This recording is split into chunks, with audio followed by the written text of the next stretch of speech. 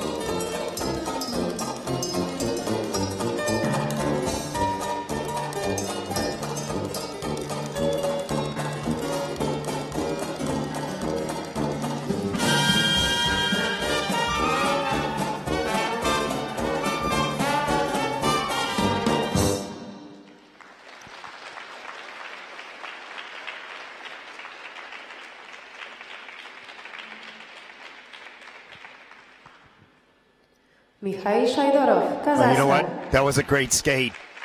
Technically, just did a lot of great content. Beautiful technique in the quad toe, triple toe combination. Top of the program. Solid jump technique all the way through. Some pretty good spins. Lots of work to do in presentation, of course, and expression. But now the base is there.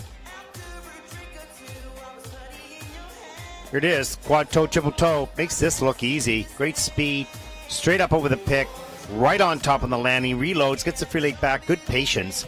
Pushes up nice and high. Gets the triple toe loop cleanly done. About as nice a quad toe, triple toe as you're going to see anywhere. There's the second quad toe and over rotated a little bit. Has to do a three turn. Saves the landing pretty well. And triple Lutz makes it look so easy. See how much time there is to check out. He's so efficient in the air. He's quickly into rotation. Triple axel snaps right into rotation, opens up on the landing. Euler, triple Sal. Very, very quick into rotation and gets that free leg out and back quickly. Doesn't let it just hang there. Pushes it back, stabilizes the landing. And here's the change combination spin at the end of the program. Uh, was in it at level three. A 107.72. He will absolutely smash that personal best with this performance here.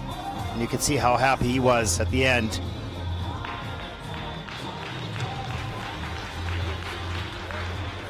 The stars, please. Great start to the final group. My gosh. 142.52. You can see Alexei Urmanov said, wow, that's great. That's first, of course, by a mile in the free program.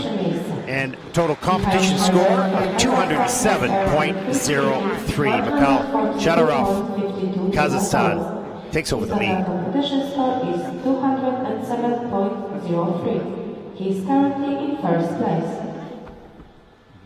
Great job. Przed Państwem reprezentant